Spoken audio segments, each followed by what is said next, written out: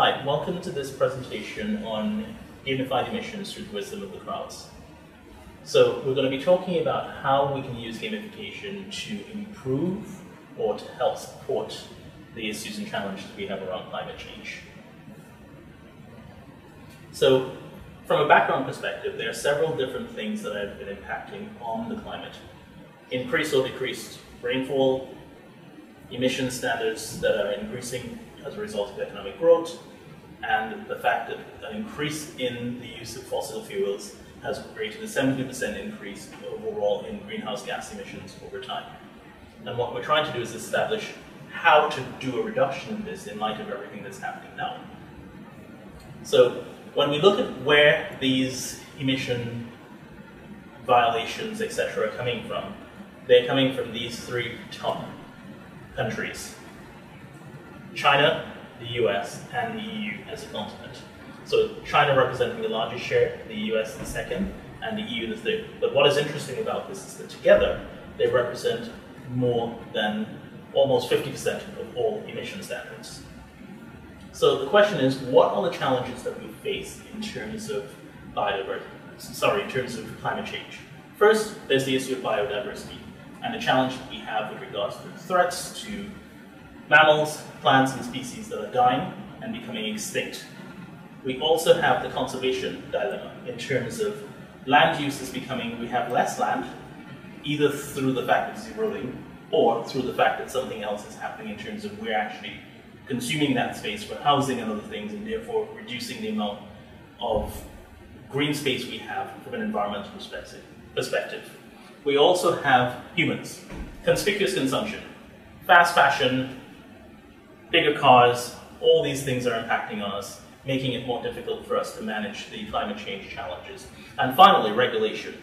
As we know from right now, as I record this video, COP26 has been the big issue going on in Glasgow, etc.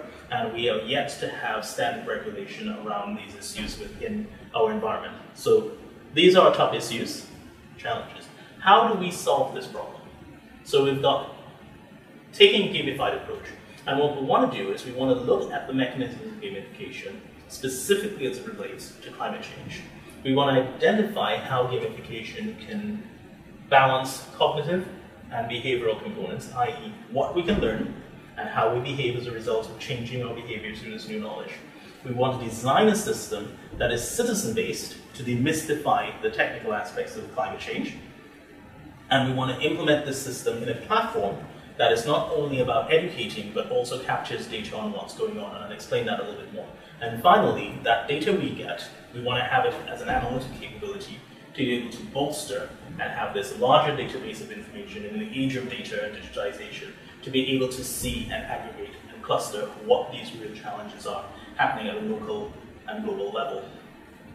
So, in terms of how we would do this, we want to take crowdsourcing and we want to look at the problems, whether they're homo or heterogeneous. And by that, we simply mean is it a problem that everyone's having, or is it a problem that's specific to, to an area?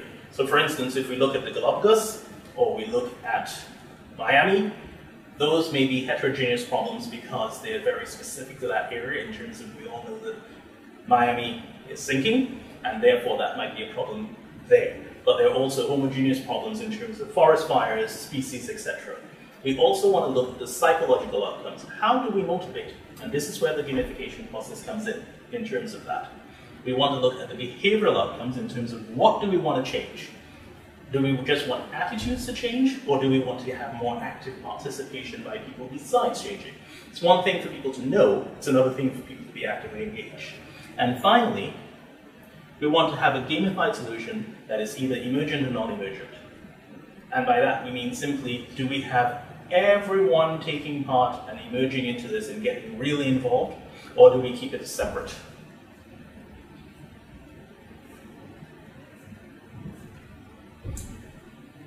The approach to this is through storytelling.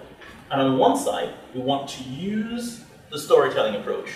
So we can have different stories, and we can have those stories ranked, ranked on leaderboards, use of analytics, etc., to be able to inform the process. And on the other side, we want to have look at the behavioral outcomes in terms of collective participation, tons of stories, as opposed to one story, that tells us different things and shares knowledge. And on the other side, we want to have the MOOCs, which give us education. Through these stories, we can develop content that can help people learn how to solve these problems better. And this is what that's about. So it's gamified and a gamified outsourcing system where we're not designing the system internally, we're using the stories externally to design the systems. Once we do that, the gamification system, we expect the following outcomes. To be able to leverage this crowd data in a positive mapping and have them rank through our leaderboards, etc., to be able to determine which problems we should deal with in which locations. The MOOCs to help change behavioral outcomes. The community-based platform where we, once we've done stuff through these to have better best practices, we can see at local or global level what's working well, what's not. But we now have an idea, much better idea of what it is. And then the analytics, which leverages the whole crowdsourcing data across geographic boundaries for transformation. So these are four principles upon which we look at outcomes. The aim being to use people and educate them to improve the climate in a fun manner while collecting data on the process. And this is the overarching purpose of the gamification through the crowds.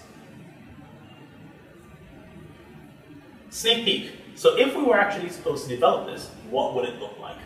So on one part, think of a platform like Google Stadia or any online gaming platform. People would register their interest, they would identify an issue, a challenge, and they would put it out there on the local or global system upload pictures of what that challenges. Data would be captured and shared amongst the community. They would create a local challenge to say, can you help us solve this? And then they would identify a local partner who would then grab part of that process and support them. So think councils, mayor's offices, environmental agencies, etc. And the second part would be, once they've done that, they would tell the story. And that story would inform writing some sort of narrative in a nice visual, gamified way about what is happening. They would take that and we would have the MOOCs to support in terms of education awareness, how to deal with this problem, not only how to deal with it from an education perspective, but how this community dealt with it. And there would be learnings there, so people have sort of a library. And then again, you have progress and impact through the leaderboards that would help them through the process. The third part would be sharing of the aggregated data. All data that comes in would be shared, and that would allow local and regional and global communities to be able to solve the problem.